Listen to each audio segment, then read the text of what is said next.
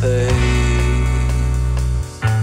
The kind that's worried, scanning all.